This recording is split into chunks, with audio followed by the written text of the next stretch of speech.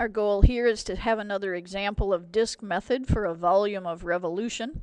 So let's look at our boundaries. First we need the graph of y equals natural log of x, one of our common functions, bounded by two horizontal lines at y equals 1 and y equals 2. So let's investigate what these ordered pairs would be here to make sure that everyone understands our graph. Another way of looking at the equation y is equal to natural log of x would be to change it to its definition. This means e to the y is equal to x. So let's think about this ordered pair when our y coordinate is 1 think what we would have when our y coordinate is 1, this would be the point e comma 1. And here when our y coordinate is 2, think when y is equal to 2, this would be e squared. That might help us later in our analysis. And we're also bounding our region by the y-axis, so we can shade the region that we are revolving and we are revolving around the y-axis. So let's see if we can get its mirror image on the other side. Something like this.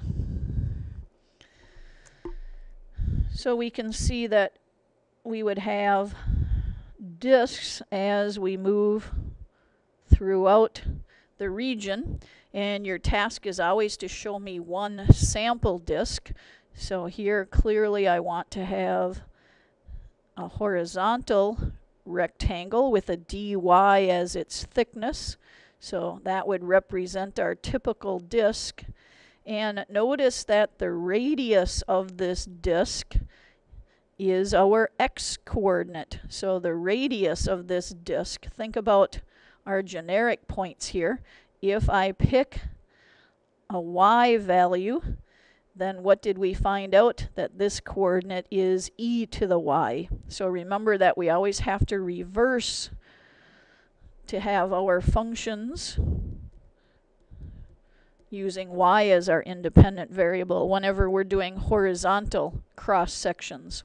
So I know the volume of any representative disk then would be pi r squared. So I can set up our integral for our volume of revolution.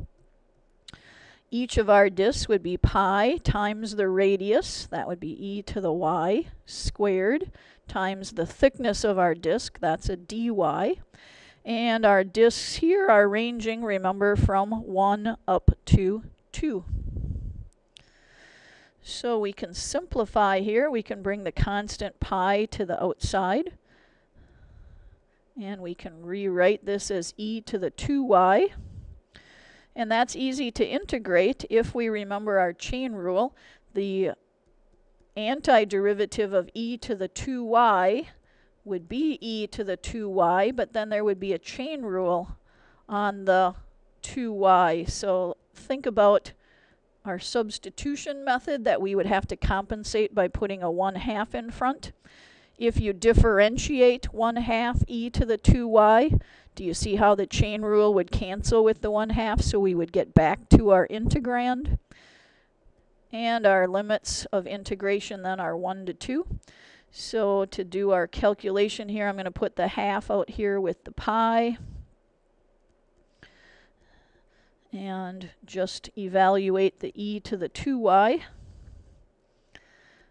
So we're going to come up with e to the fourth power minus e to the second power.